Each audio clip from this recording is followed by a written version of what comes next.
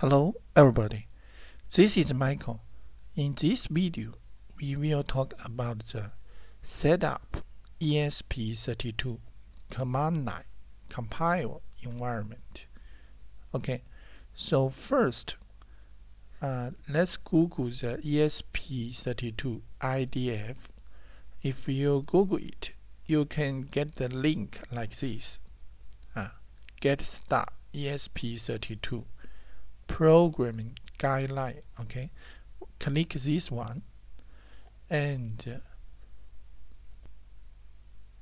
click installation click installation.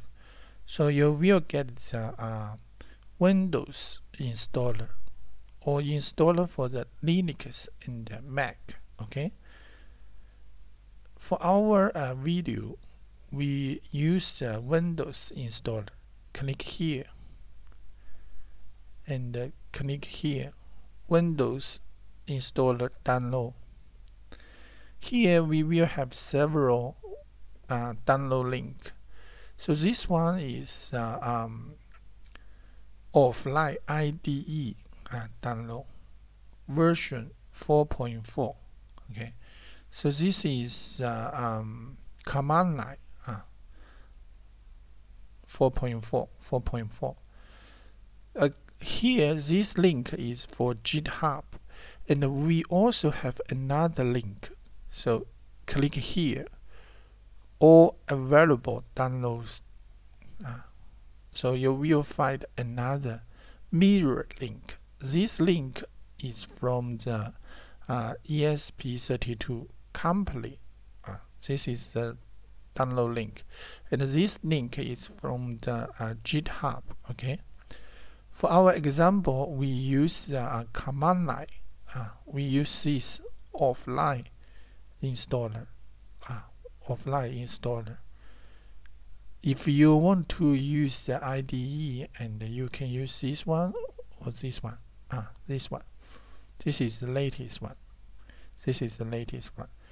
The offline installer include everything we need for the compile. Okay uh, we click this one mirror. It will download from the company uh, website.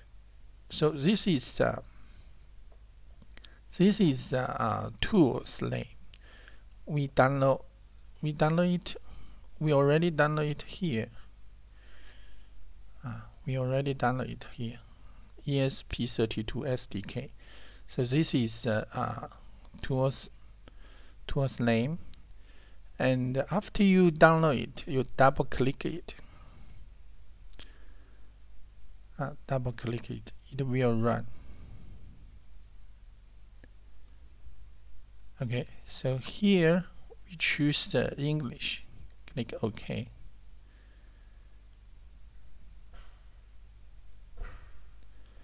So here we accept the agreement. Click here and click next it will do some check, do some system check. Uh, here, check complete, and click next.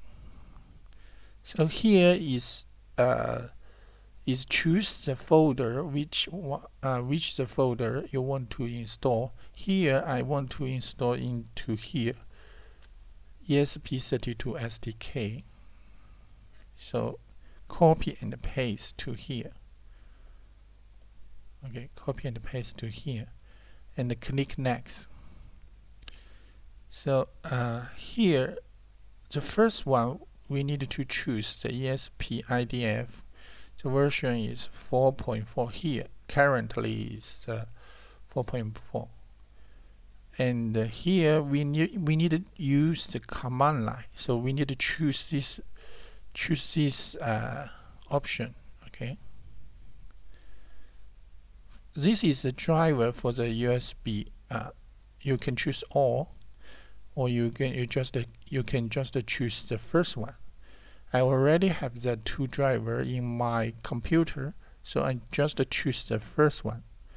Here is the chip target. We choose all of it. Okay, we choose all of it.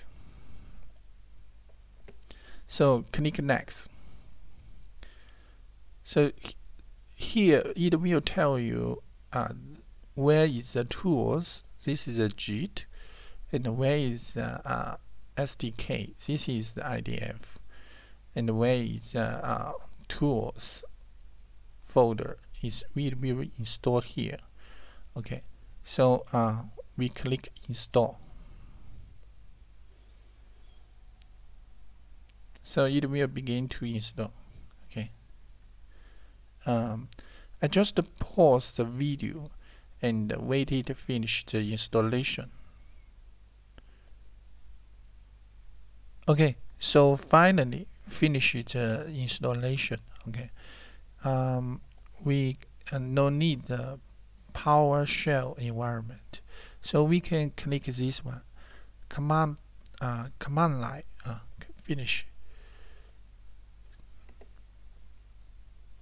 So it will pop up the command line uh, interface here.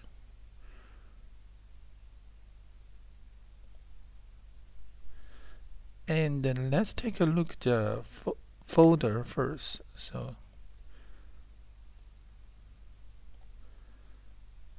and here this is our SDK uh, software framework.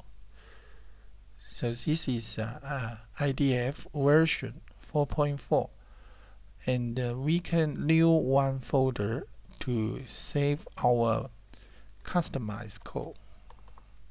My code. Okay. And uh, inside the SDK we have the example folders. We have the example folders. We can uh, go into the get started uh, copy the hello world, copy it and uh, copy it into our my code folder. My code folder okay. And uh, uh, next let's open our uh, Visual Studio Code. This is our Visual Studio Code. And we can uh, open our folder hello world folder open folder to choose the ESP32 here SDK and the framework and my code choose the hello folder select the folder.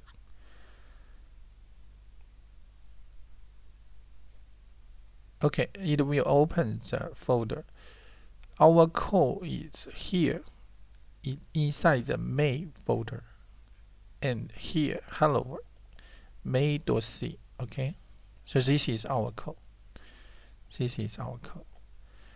Uh, here we can remove the disable the reminder. Disable all the reminder. Okay. We save it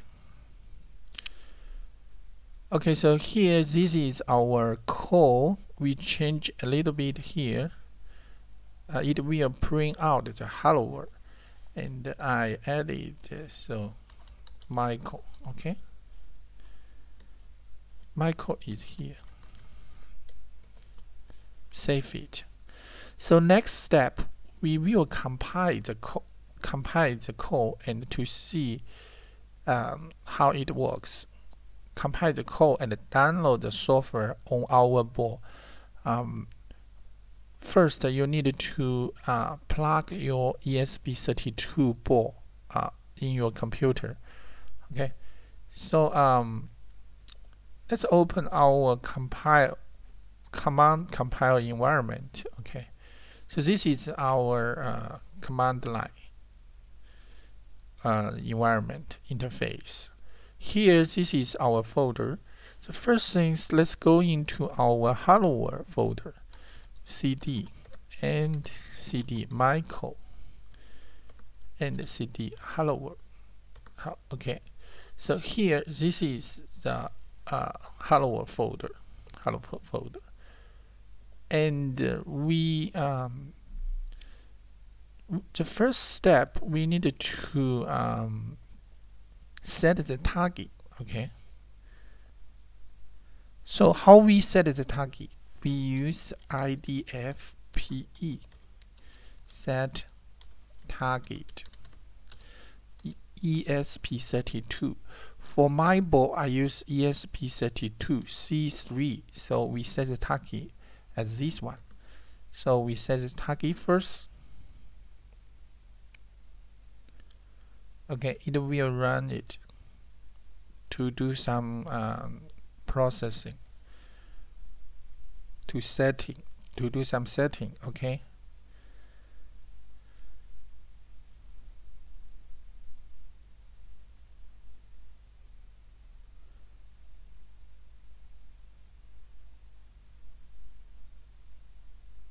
so initial some uh, module components some module components here.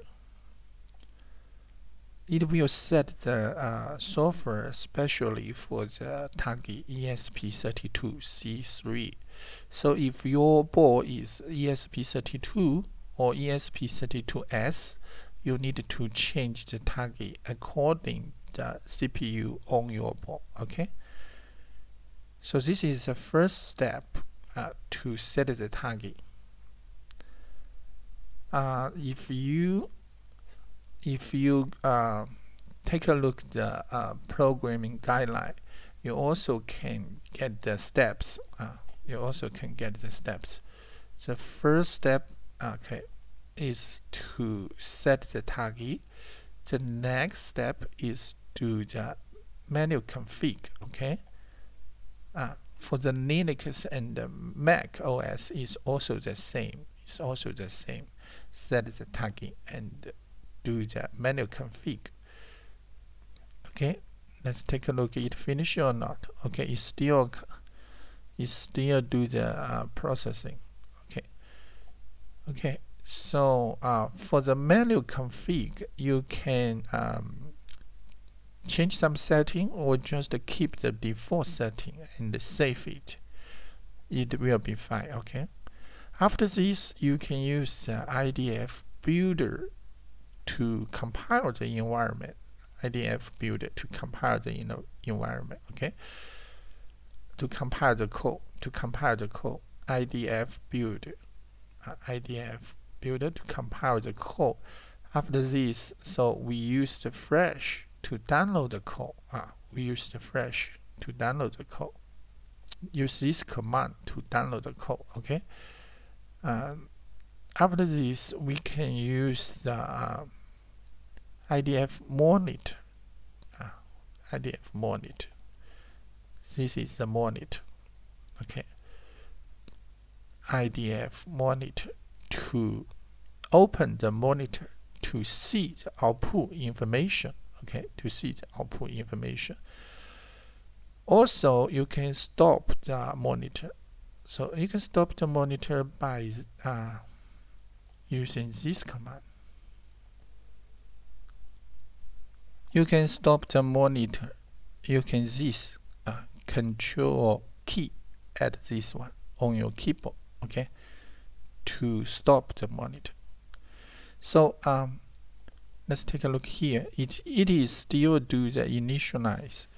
Okay so let me um, pause the video wait it to finish the initialization.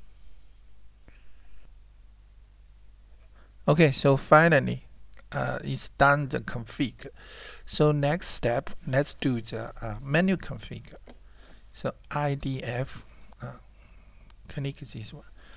I, IDF IDF uh, PE menu config.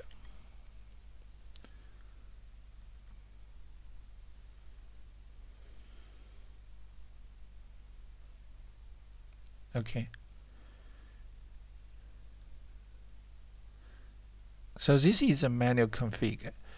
For the World project, we no need to change it. We just uh, press S. S means save press S save it and uh, we press Q here press the Q and quit it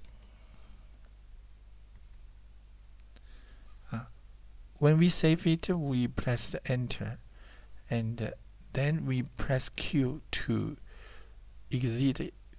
Okay so now we set the manual config file and next we need to compile it. We use the idf idf mm, idf build okay to compile all the code to compile all the code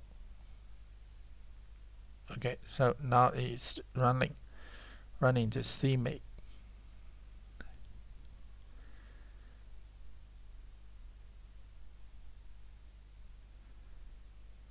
okay it also take a, a very long time so I also uh, pause the video waited to finish to compile okay? Okay so now it finished to compile so next step we need to download the bin file uh, download the bin file in our board. So we can use the IDF uh, this parameter to flash or if your computer only have one uh, port like me uh, I only have one command 4 for our board so we can just directly use the IDF uh, PE flash so it will automatically find the port to download the bin file into our board okay? So here it's already find it okay? So it will automatically download it okay? So now it download it. So if in your computer you have several uh, USB to UART port so you need to use like this P command 4 uh, in my computer is command 4 and flash to download the software. So it also will download the software okay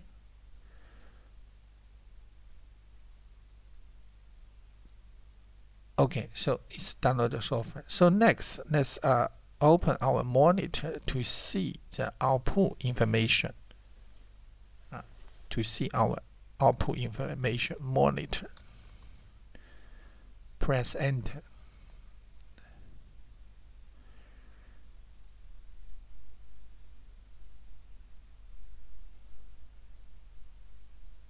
Okay now it put it pop up the uh, information. Hello Michael is here. Okay. It will uh, reset the system again and then output it again. Hello Michael is here. So this is our output information. We just uh, change it. Okay. So the next step if you want to stop the monitor uh, we we uh, we need to use this uh, shortcut. We need use this shortcut control edit this one okay on your keyboard. So we can uh, stop it. Yeah we stop it. Okay. So this is uh, uh, uh this is uh, ESP32 command line compile environment setup. And we also uh, compile the Hello world project, download it on our board, and to see the output information. Okay, so this is this video. I'm Michael. Uh, see you next time.